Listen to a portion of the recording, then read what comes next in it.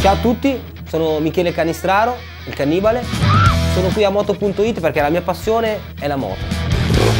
Io ho partecipato a dei campionati anche a livello mondiale, ho fatto il campionato del mondo supermoto come wildcard in Italia, in Francia. La mia vittoria più bella a Masterchef con le rane, non l'avevo mai fatte, ma ho tirato fuori un grandissimo piatto. Infatti ho vinto la prova, quella è una delle delle mie vittorie più belle.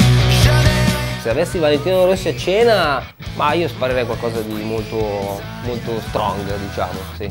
Faccio sgarrare, un piatto base di carne, arrosti.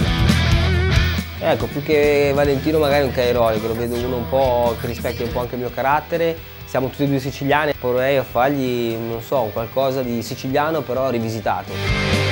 Anche se non è una vittoria, la gara che ricordo di più il campionato europeo e qua lo vediamo, una categoria open all'interno del campionato mondiale supermoto, quella è quella che ricordo di più.